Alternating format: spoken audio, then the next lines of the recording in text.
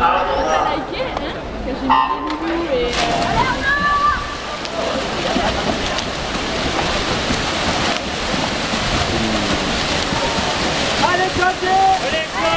Meilleure série actuellement de la catégorie C3.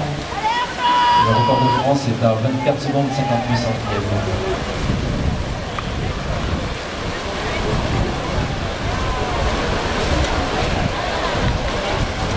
Et victoire d'Olivier Laurent en 25 secondes 1 centième.